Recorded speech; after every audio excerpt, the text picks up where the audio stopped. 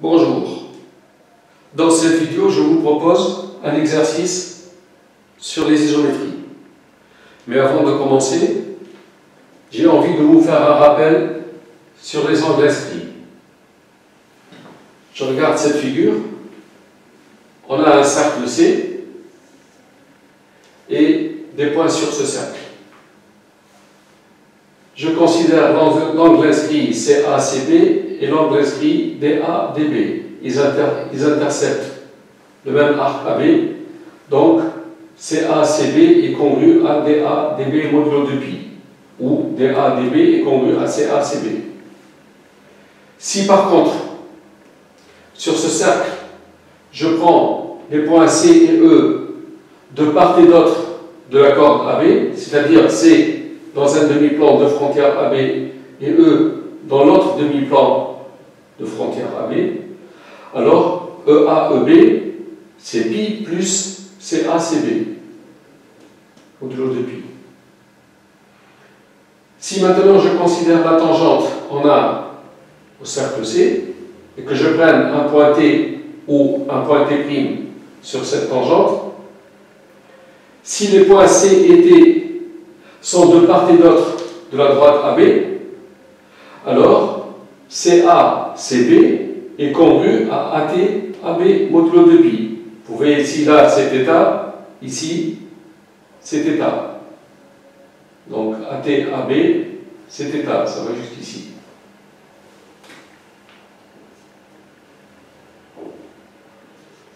Si par contre, les points C et T, ou C et T' sont le même demi-plan de frontière AB, alors AT'AB, c'est pi plus CACB, modulo de pi. Maintenant, si on considère l'angle centre, OA, OB, l'angle centre est toujours le double de l'angle inscrit, c'est-à-dire l'angle centre OA, OB, c'est deux fois CACB, modulo de pi, c'est aussi deux fois EA, EB, modulo de pi. C'est aussi deux fois AT-AB, modulo de pi, et deux fois AT'-AB. L'angle au centre, c'est toujours le double de l'angle inscrit. Le problème suivant, on donne deux points distincts A et B et une valeur θ, et on veut chercher l'ensemble, la nature de l'ensemble des points M, vérifiant MA, MB qui soit congru à θ modulo de pi.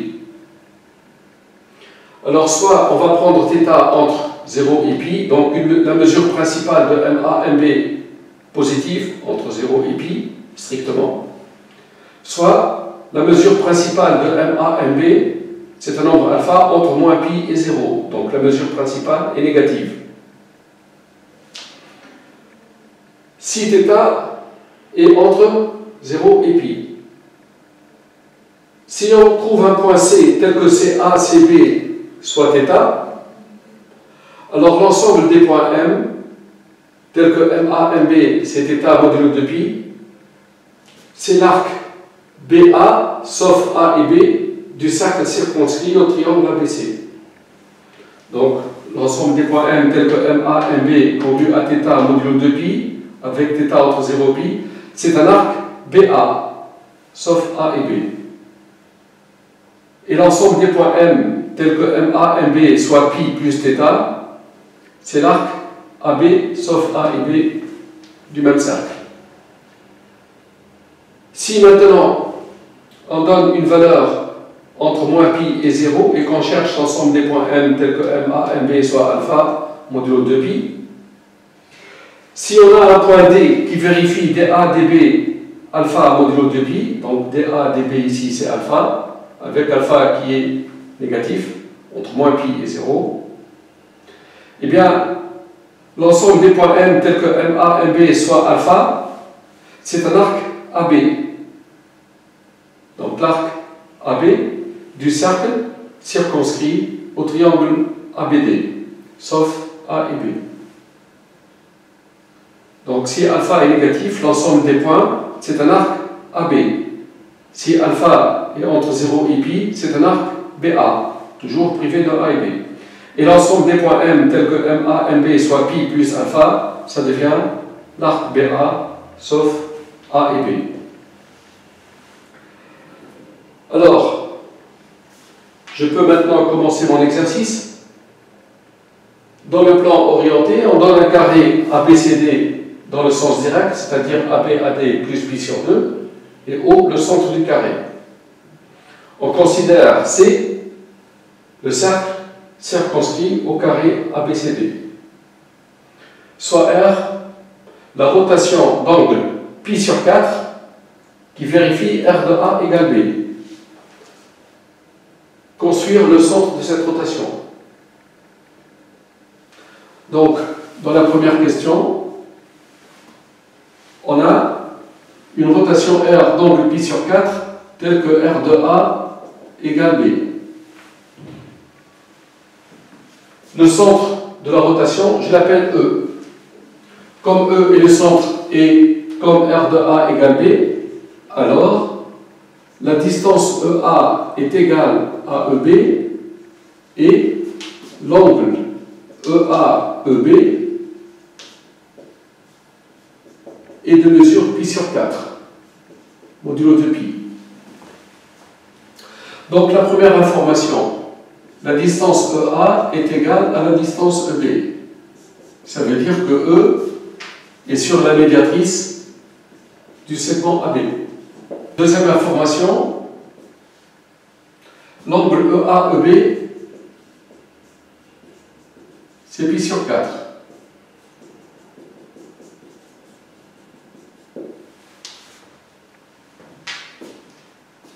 Or, CA, CB, c'est pi sur 4 aussi. Parce que ABCD est un carré et que CA est une diagonale. EA, EB, C, CA, CB, d'après ce que je viens de dire ici, E va être sur l'arc BA du cercle C. Donc comme CA, CB, c'est aussi pi sur 4, alors E est sur l'arc BA du cercle C. D'où le point E. E est sur l'arc BA du cercle et sur la médiatrice. Voici le point E.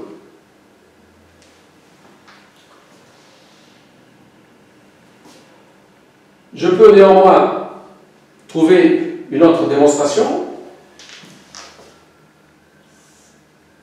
Vous avez deux points A et B, et vous voulez chercher le centre de la rotation d'angle pi sur 4 qui transforme A en B.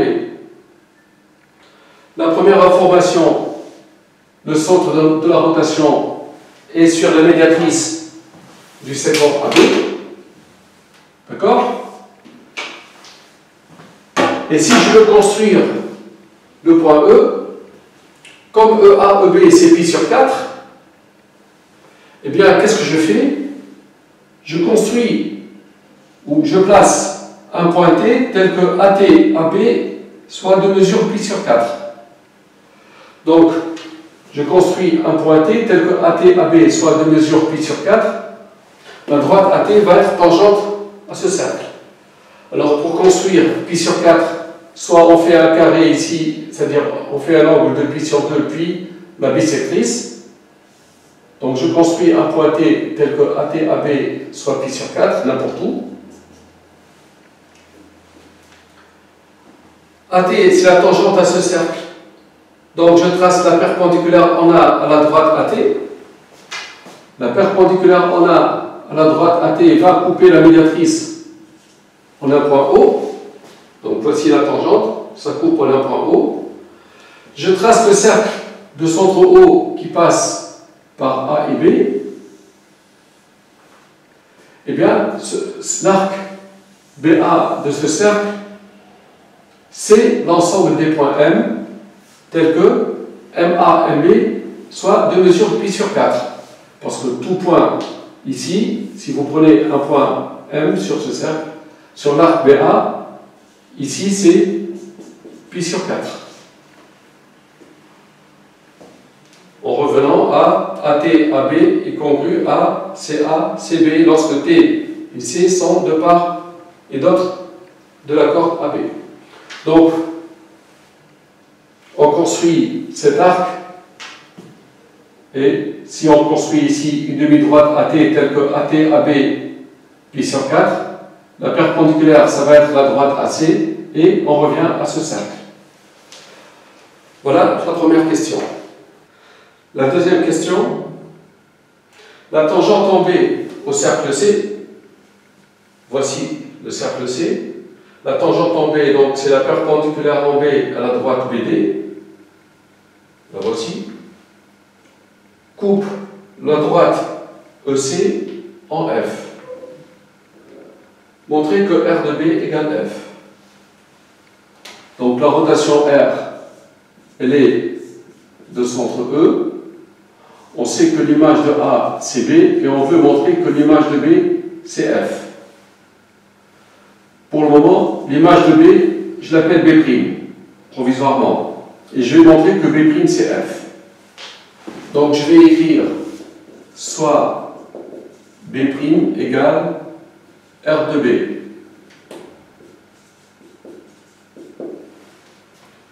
Comme E est le centre, alors l'angle EB, EB', c'est l'angle de la rotation. C'est pi sur 4. D'autre part, l'angle EBEF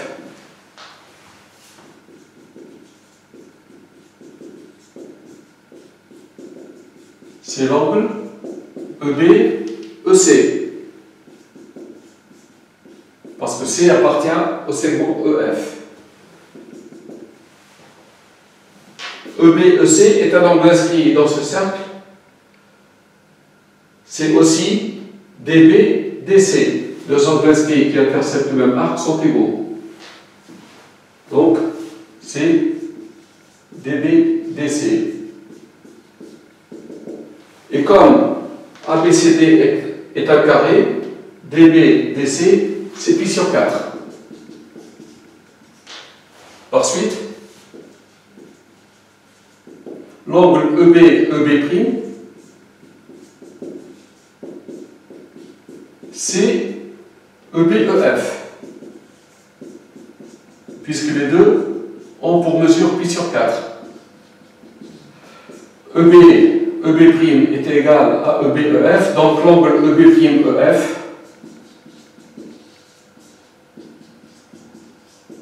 est nul. C'est-à-dire que B' appartient à la demi-droite EF. Déjà, une première information. Le point B', l'image de B, est sur un demi-droite BF. Deuxième point, on a R de A égale B et R de B égale B'. Donc, l'angle AB BB', c'est l'angle de la rotation, c'est-à-dire pi sur 4.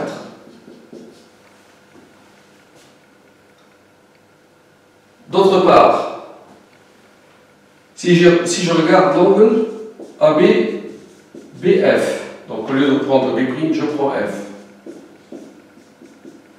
ABBF, d'abord c'est pi plus BABF pour avoir deux angles de même origine.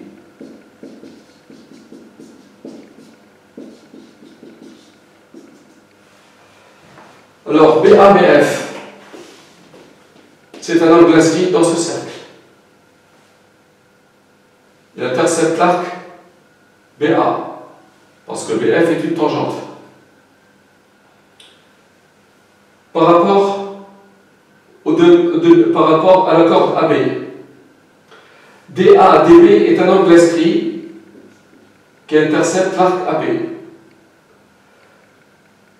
DADB est un angle inscrit qui intercepte l'arc AB et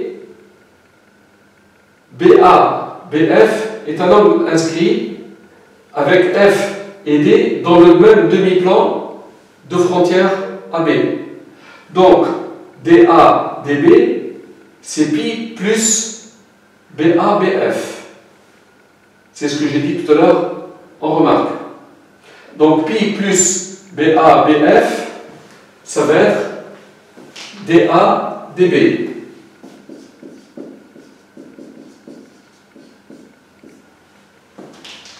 Et DADB, comme on a un carré ici, donc l'angle DADB, c'est pi sur 4.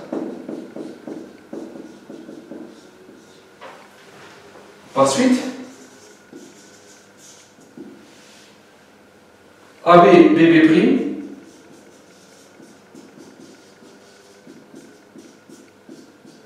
c'est pi sur 4, ainsi que ABBF.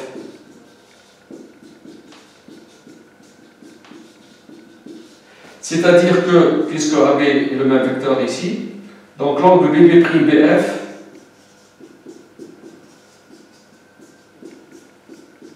est nul modulo 2pi, c'est-à-dire que B' appartient à la demi-droite BF. Les vecteurs BB' et BF sont collinéaires de même sens, donc B' est sur la demi-droite BF. Eh bien, B' est sur la demi-droite EF, il est sur la demi-droite BF, B'. Conclusion, B' égale F, et B' c'est R de B, donc R de B, c'est F. Par la rotation R, l'image de A c'est B, l'image de B c'est F, R est de centre E. Dans la troisième question, soit G égale la symétrie d'axe EB rang R. G, c'est SEB rang R. Préciser l'image de E et A par G, préciser G de E et G de A, identifier G, c'est-à-dire donner la nature et les éléments caractéristiques de G, et montrer que la droite EB est la médiatrice du segment AF. Donc, on va chercher d'abord G de E, c'est SEB rond R appliqué à E. Comme E est le centre de la rotation R, R de E c'est E. Donc ça nous donne SEB de E. E est sur l'axe EB, SEB de E c'est E. G de A, c'est la symétrie d'axe EB rond R de A. On sait que R de A, c'est B. Donc la symétrie d'axe EB, R de A, c'est B. Et la symétrie d'axe EB, l'image de B, c'est B. Bien. On va identifier G. G, c'est une symétrie orthogonale et une rotation c'est la composée d'un déplacement, une rotation est un déplacement, et une symétrie orthogonale, c'est un antidéplacement. G est la composée d'un déplacement et d'un antidéplacement. Donc G est un antidéplacement.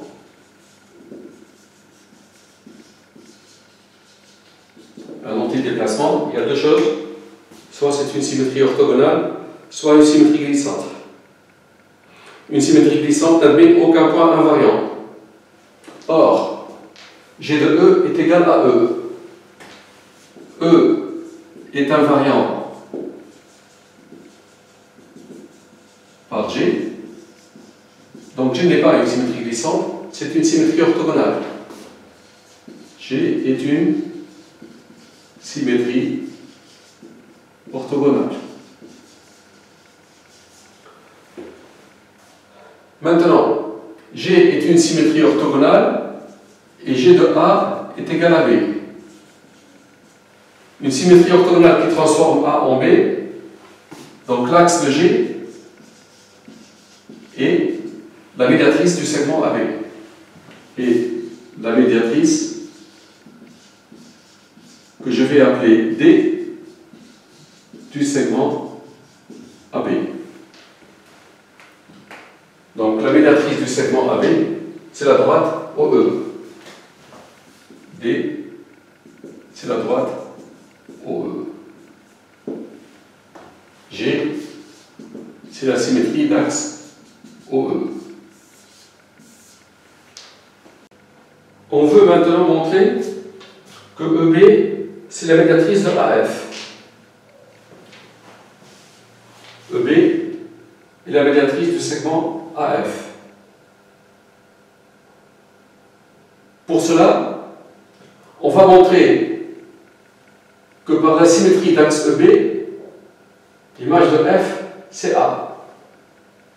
Si on montre que par la symétrie d'axe EB, l'image de F, c'est A, ça voudra dire que EB, c'est la médiatrice de AF. La symétrie d'axe EB, eh bien, on a G, c'est-à-dire la symétrie d'axe OE, c'est SEB rond R. Et on a besoin de la symétrie d'axe EB. Donc, la symétrie d'axe EB, pour la trouver, on compose à droite par R-1, c'est-à-dire SOE rond R-1, c'est SEB rond R, rond R-1, c'est-à-dire l'identité. On trouve SEB, c'est SOE rond R-1 et on va appliquer AF.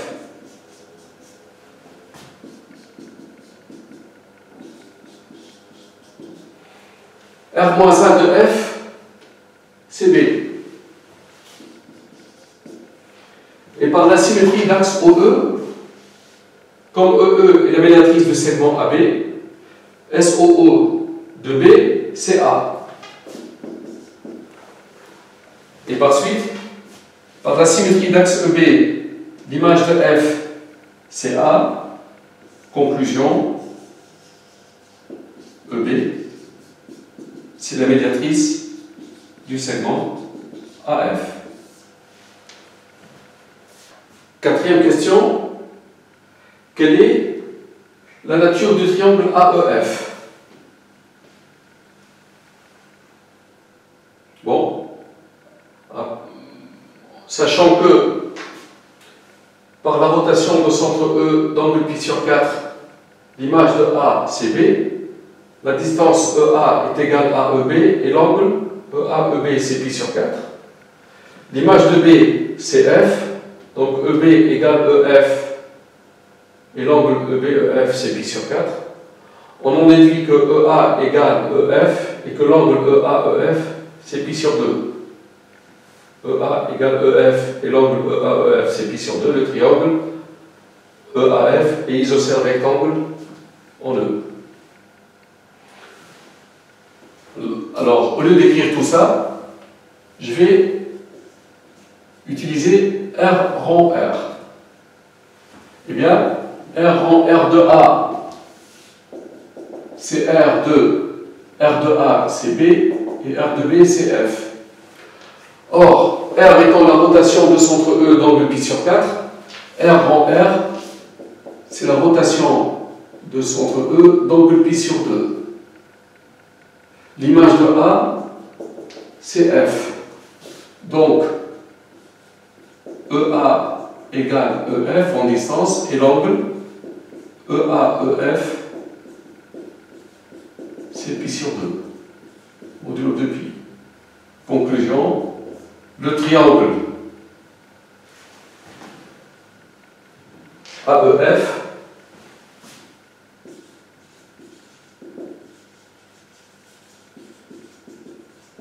est isocèle rectangle en E.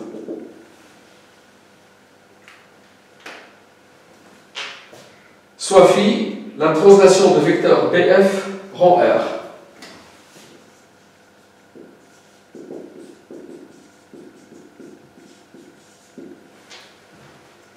Donc composé d'une translation et d'une rotation. Précisez phi de A. Phi de A, eh bien on va calculer translation de vecteur BF rend R de A. R de A, c'est B. Donc, c'est T de BF de B. Et par la translation de vecteur BF, l'image de B, ça ne peut être que F. Donc,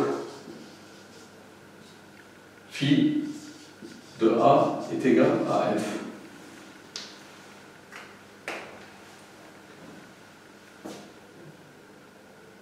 Nature et élément géométrique de phi. Phi, c'est quoi? Eh bien, phi, c'est la composée d'une translation et d'une rotation d'angle pi sur 4. C'est une rotation d'angle pi sur 4. On connaît le théorème, la composée d'une translation et d'une rotation d'angle non nul θ est une rotation d'angle θ. Sinon, on peut dire que phi est la composée de deux déplacements d'angle 0 et pi sur 4. Donc c'est un déplacement d'angle 0 plus pi sur 4 égale pi sur 4. Et un déplacement d'angle pi sur 4, comme pi sur 4 est non nul, c'est une rotation d'angle pi sur 4. Donc phi est la composée d'une translation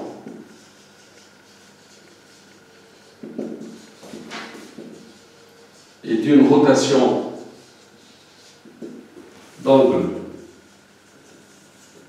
pi sur 4. Donc phi est une rotation d'angle pi sur 4. Il faut chercher le centre. Phi est une rotation d'angle pi sur 4 qui transforme A en F. Donc je vais dire soit oméga le centre de phi, comme phi de A égale F, alors, premièrement, oméga appartient à médiatrice de AF,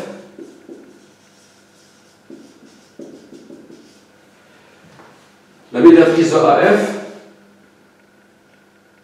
c'est la droite EB. Parce que EB, on l'a vu tout à l'heure, c'est la médiatrice de AF. C'est-à-dire, oméga appartient à la droite EB. Deuxième point, on a une rotation d'angle pi sur 4 qui transforme A en F. Le centre, c'est oméga. L'angle oméga A, oméga F, c'est pi sur 4. Donc, oméga appartient à l'ensemble des points M tels que MA, MF, c'est pi sur 4.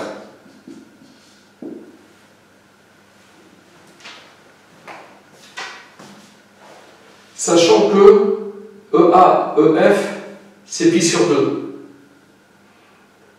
On veut chercher un point oméga tel que l'angle oméga, oméga F, c'est pi sur 4, c'est-à-dire la moitié de EA-EF. J'ai remarqué tout à l'heure que si on prend A et F, si on prend un point M sur cet arc, l'angle au centre, c'est toujours le double de l'angle inscrit. Donc si ça c'est pi sur 2,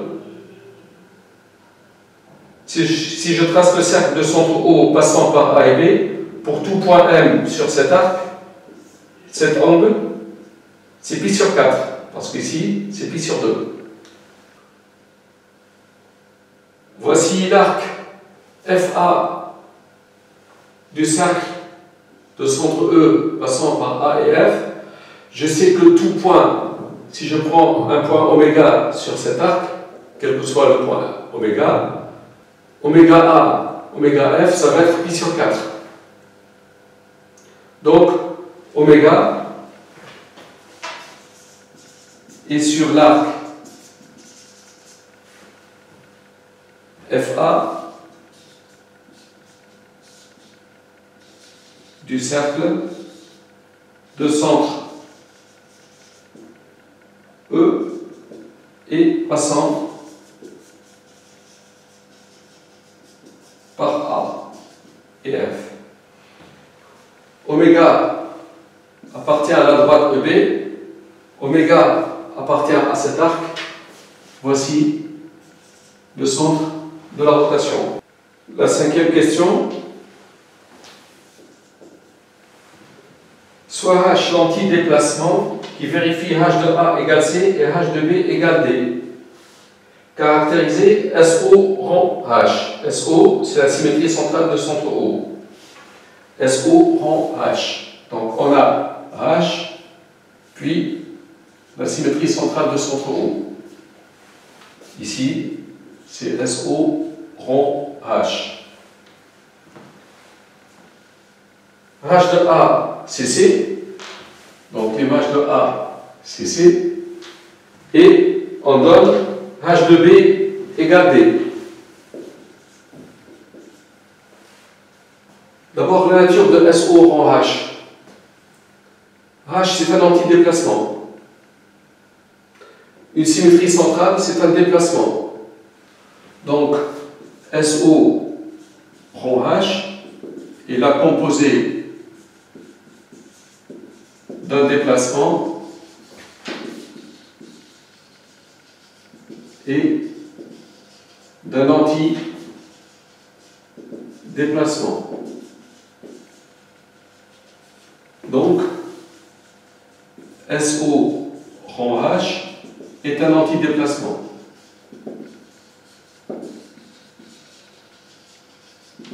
C'est soit une symétrie orthogonale, soit une symétrie glissante. Bien, qu'est-ce qu'on va faire? On va chercher les, images de A et B par SO rond H. Pourquoi pas? SO rond H de A c'est SO de H de A. H de A, c'est C. Et par la symétrie centrale de centre O, l'image de C, c'est A. O, c'est le centre du carré.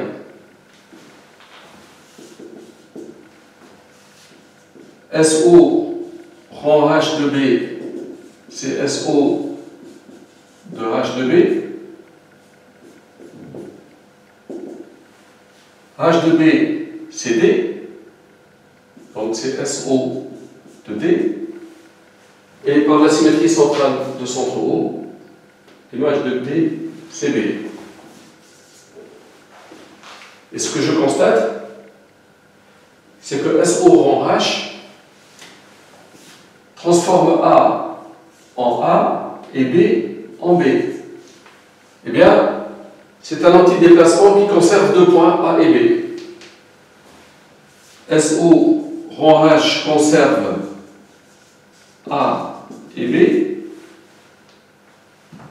Donc, SO rang H, c'est la symétrie d'axe AB.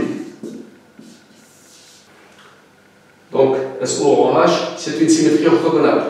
Une symétrie orthogonale qui fixe A et qui fixe B, eh bien, c'est la symétrie d'axe AB.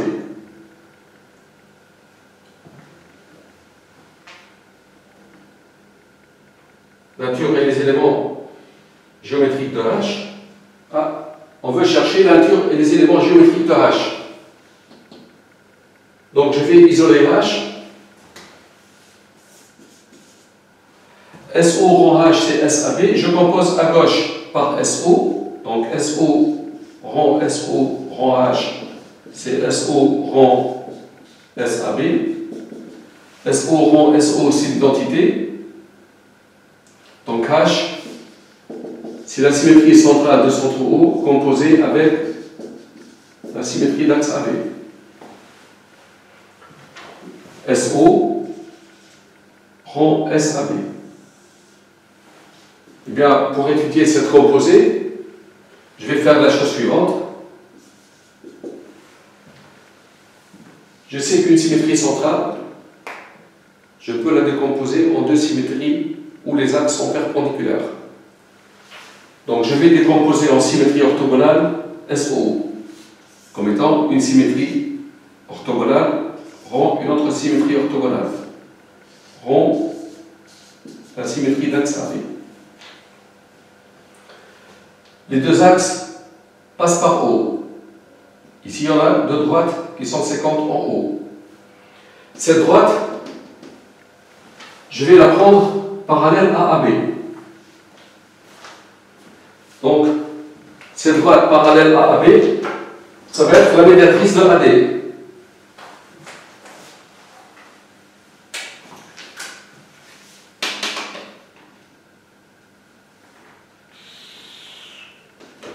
Je l'appeler delta.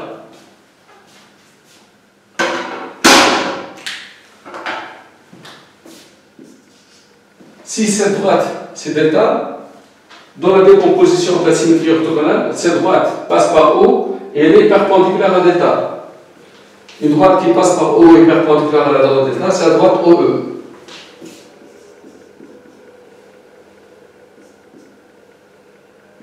Donc ça fait la symétrie d'axe OE, rond. Je vais faire une parenthèse ici, S delta, rond, SAB. Les droites delta et AB sont parallèles. Delta et AB sont parallèles. La composée de deux symétries où les axes sont parallèles, c'est une translation. Donc c'est SOE rond. La translation, il faut, la translation est de vecteur deux fois un point de la droite AB d'abord, puis son projeté orthogonal sur delta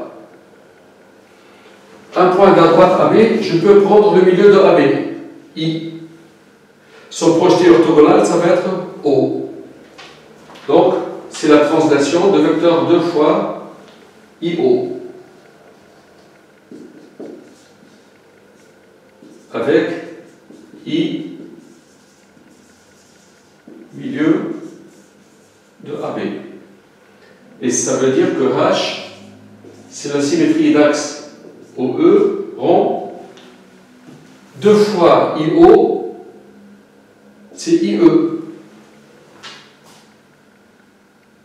Translation de vecteur IE. Comme le vecteur IE est un vecteur directeur de la droite OE, le vecteur IE est directeur de la droite OE, on retrouve la symétrie glissante d'axe OE ou IE et de vecteur IE. Conclusion, H est la symétrie